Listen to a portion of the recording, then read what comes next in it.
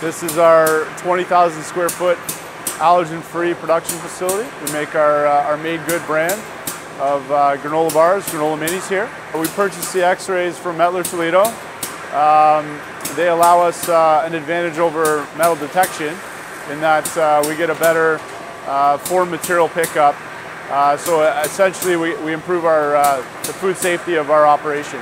We, have gone from one system to, we'll be at seven systems. Our granola bars will come in the, the right side. there's an imaging area in the center where it'll detect uh, any variations in density that's expected. So if it's a metal or if it's a pit, it'll get picked up and then it will be rejected in this bin here.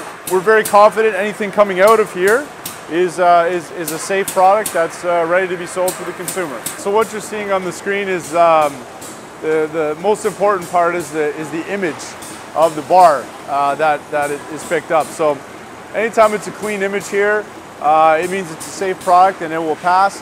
If it picks up any, uh, any dense uh, objects, uh, you'll see a, a, red, it'll be rejected, and you'll see the, the pieces highlighted on the bar as well. So anytime we're seeing a clean image and it's okay, uh, product is passing through, it's safe, safe for consumption, and we're good to go.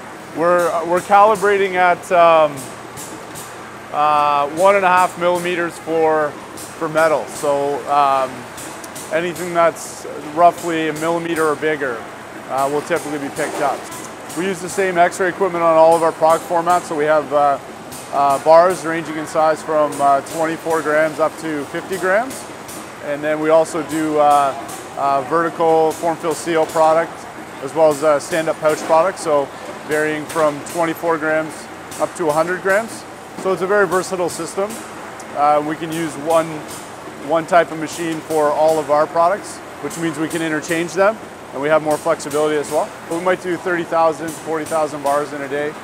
We need that number to keep going up because orders are good. We need to continue to, uh, to have good assurance that what's going out is, is accurate weight-wise. Uh, anytime we're packing by count as well, there's supposed to be five bars in a box or four pillow packs in a box. Uh, we need assurance that that's happening also.